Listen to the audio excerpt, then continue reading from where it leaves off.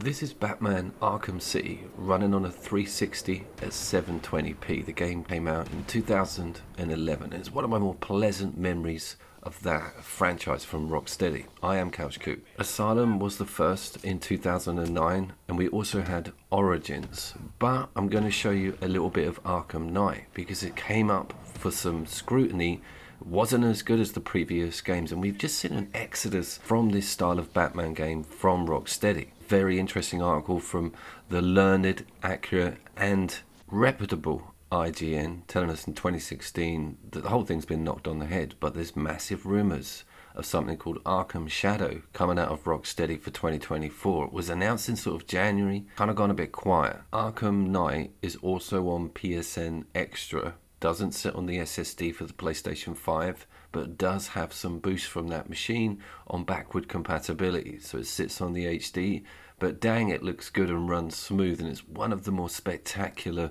open world Batman games out there. It's just not up to speed with those previous games. We're going to look at it in a bit more detail and we're going to discuss what could happen to those previous games and what we want out of an open world Arkham 9th generation video game, which just could be amazing just done the Spider Man material for the open world list.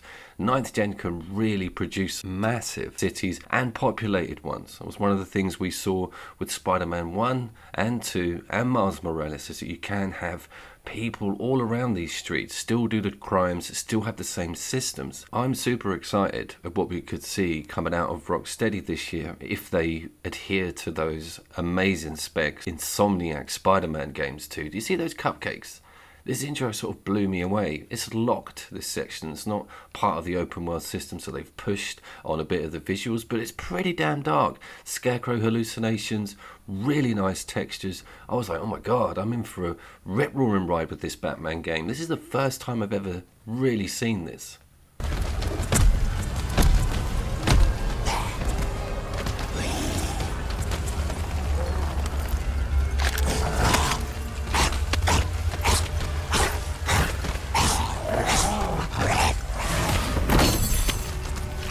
Can't actually remember what put me off purchasing this game when it came out. I may have not even owned a 360. I might have been living abroad. It might have just been the cost and the bad reviews. But it was only until now that it's gone to a subscription service that I can probably look at some of these textures, the size of the world.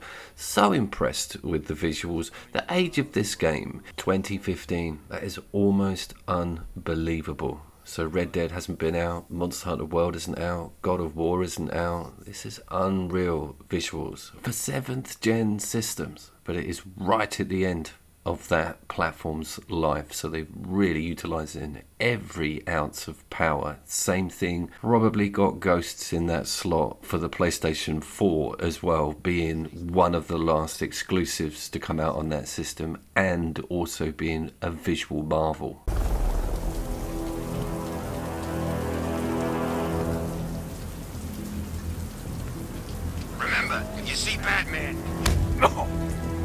Nothing's really changed with those systems from Arkham City. In actual fact, looking at the Arkham City footage, it was difficult for me to distinguish the two. It's only that vehicle, which we are going to get to, that separates these two games on a larger scale. All that hook stuff, even the combat combos, some of the cutscenes have been improved slightly, but it does feel ever so slightly dumbed down on the things you can do, where you can jump to, and who you can interact with. And of course, the whole of the city has been evacuated. So the only things that you have to interact with are the criminals. There's no pedestrians, there's no NPCs to speak of.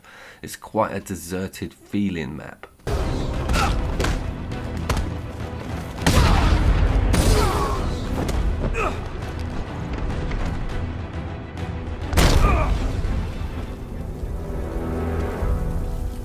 You are given a half decent bit of range to work with early doors. In the original games, you had to kind of unlock that batarang and some of the electricity components, but this is like straight up use your gadgets and call in that card. Now, let's have the conversation about the vehicle.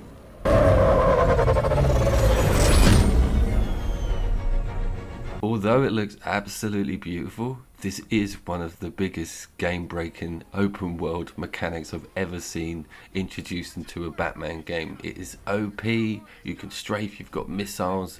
It switches the whole thing on its head and tries to be a sort of budget Mad Max clone. It's crazy weird and it is everywhere. You've got puzzles, you're jumping from rooftop to rooftop, even feeling that nitrous injection over the jumps has its limitation. Didn't gel too well with me when it was introduced, and I definitely think that was something that came up in those original reviews. I need to interrogate the driver and find out what he knows.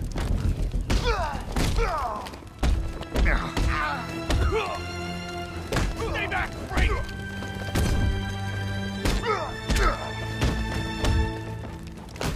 If you lay a finger on me, they'll kill you!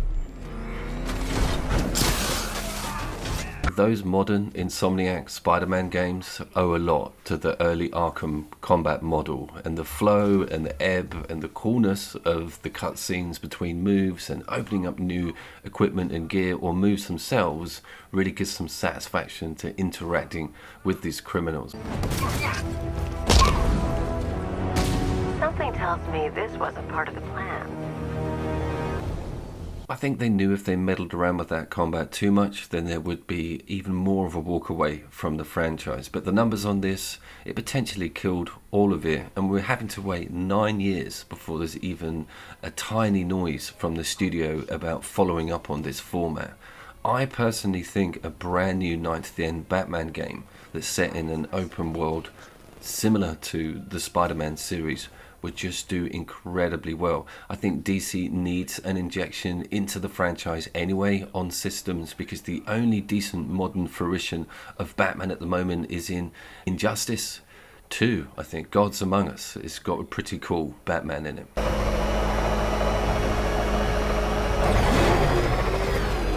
Are you old enough to remember the original NES Batman from that first film? Michael Keaton, Jack Nicholson, the Joker. It was a side scrolling, almost like Bionic Commando. You could wall grab, it was quite ahead of its time, and it was really the start for me of my love for Batman video games. It also featured the car and a winch that let you go around corners at high speed by clinging onto lampposts. That might be my earliest superhero video game badass memory. Sticking with that badass theme, because of this game's age, you do get all of the tiny free bolt on DLCs that came out over its period of sale, and there's loads of it, including the really old school outfits and a skin for the vehicle from the original TV series. That stuff is pretty awesome, and you've got the tagline I am wearing hockey pants. You have to do a little like Daffy Duck at the end. Hockey pants. One pair of actual, a selection of body parts belonging to one mask and jacket worn by Anarky, aka Lonnie Machin. Also, talk about rubbing your nose in it with the museum. It's like, do you remember all these amazing times you had with awesome bosses in the previous games?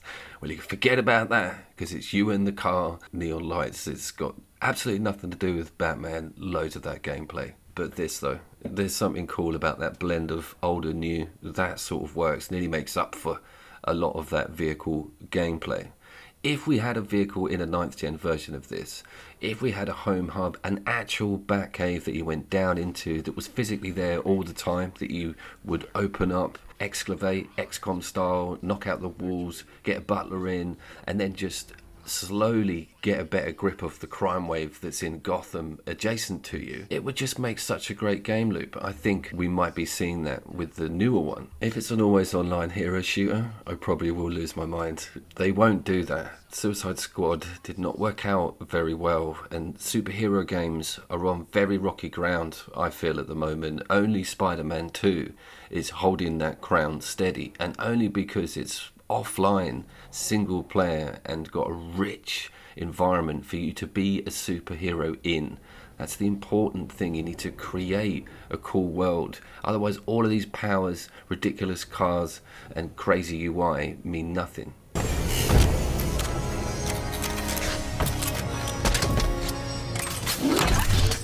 I suppose I should say thank you for living out that mini fantasy about what we could get from Rockstar and Batman going forward. And I strongly suggest you do have a look at Arkham Knight. There's no reason not to at the moment with it sat on extra and it being a sort of lesson in how you bugger up a good series.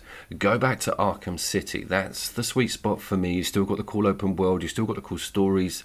Everything is kind of in the right place with it. If you want to go really old school, sure, have a look at the original Asylum. I have been Couch Coop, and I will see you down there. Hockey pants!